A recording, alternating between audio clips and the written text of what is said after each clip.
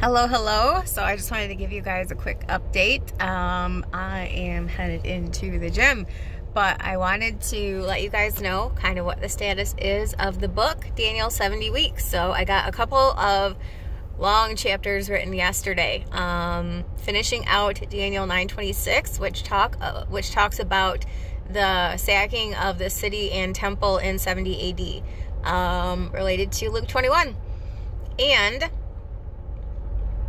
the times of the Gentiles, what that's a reference to, and what the end of the times of the Gentiles will be. Differing from the fullness of the Gentiles, which is also discussed in the book, although they do end at the same time. um, and then I started in the final verse of the chapter, Daniel 9 27. And that will be three chapters. It'll be the beginning of the week, the middle of the week, and the end of the week. And I got through the first part of it, which will be the longest, um, and that is the uh, the beginning of the week. What the covenant is, who that He is that will confirm the covenant with Israel.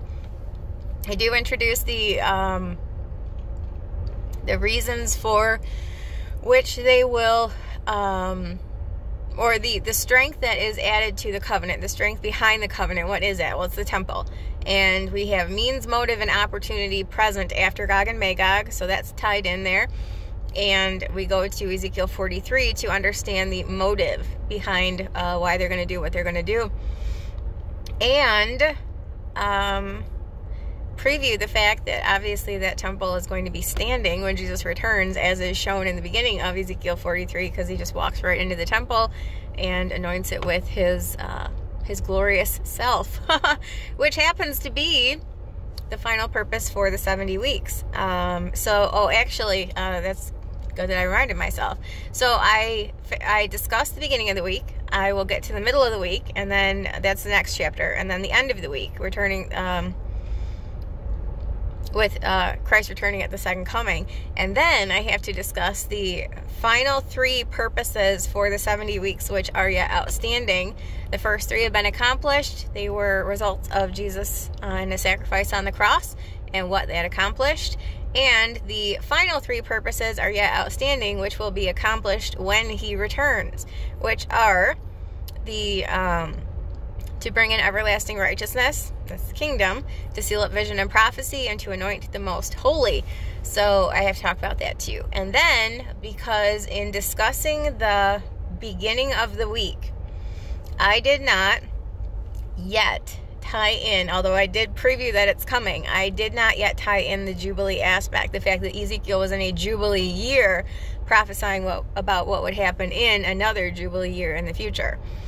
So the template for that, there's actually two templates. One that regards, uh, and they're actually both anointing of the most holy, second temple and third temple.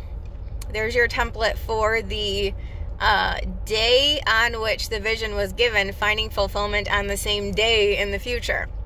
That template was used with the anointing of the, the holy place in the second temple, Haggai 2, and it, it will be used, the anointing of the most holy, in the third temple also, Ezekiel 43 but you backtrack seven years, and that's the actual measuring for the temple, which is the underpinning of the covenant, and that's seven years prior, same day.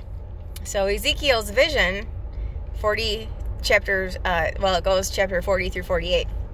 Chapters 40 through 42 are seven years prior than chapter 43 and beyond. And chapter 48, which I did discuss, takes us to the end of the days discussed at the end of Daniel 12 um, from the abomination of desolation there will be 1335 days. Daniel is told to go his way, rest, and he will stand in his lot at the end of the days. The parceling of the lots to the 12 tribes will occur in Ezekiel 48 and at the end of that 1335. So this is this prophecy is specific all over the place. Uh, Daniel's going to stand in his lot. So essentially from Ezekiel 43 through 48 there is 75 days there.